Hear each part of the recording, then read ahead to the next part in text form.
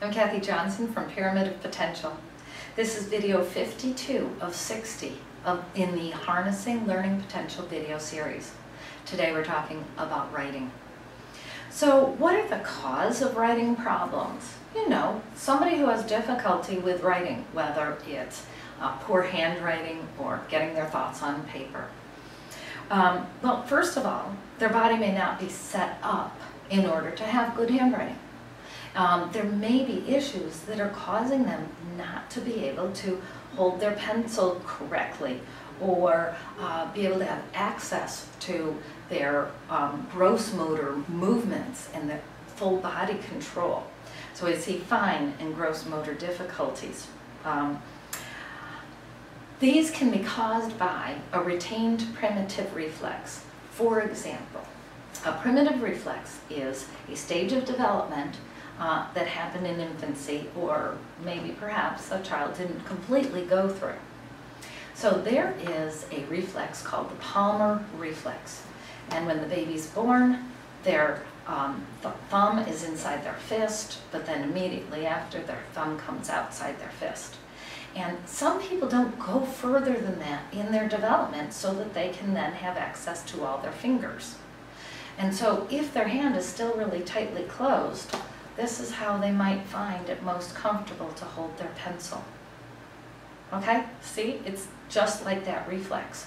Now, if they're holding it like this, um, they may have issues with uh, being able to really have good motor development, planning with, with their wrist and, and other places, and they definitely can't, you know, be moving their pencil around using their fingers because it's so tight like that.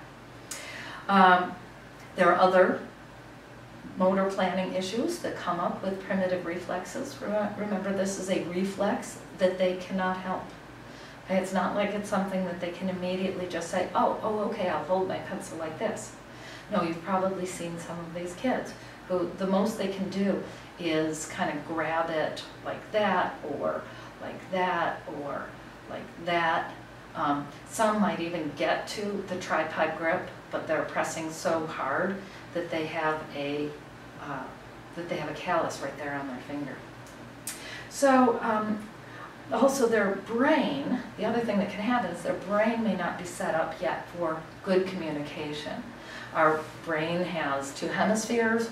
Um, the left hemisphere is primarily where language is um, is set up and the right hemisphere is primarily where creative writing is set up. And so for some people, or create, creativity is set up. So for some people, it's difficult to use both hemispheres at the same time. Their brain isn't set up for it yet.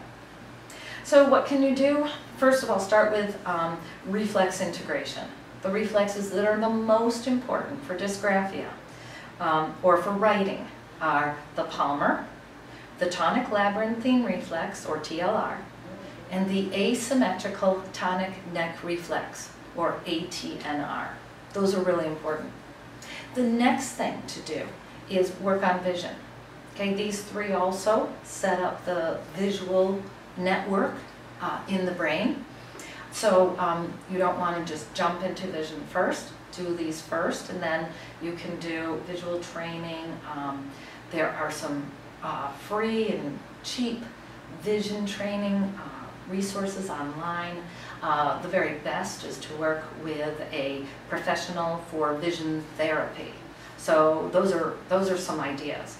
Vision therapy, yes, is more expensive, but, but you're working with a doctor, um, an eye doctor, who has uh, been to training.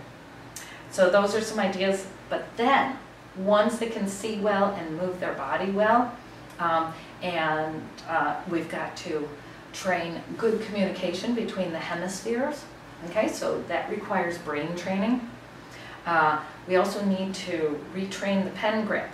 So, you know, just because they now have access to all their fingers, we need to retrain this so that they now know what's the best way to hold their pen. And then we have to retrain how to draw the letters. They might still be drawing the letters from the bottom and the wrong way around, rather than uh, doing it the way that it's most normal for people to write.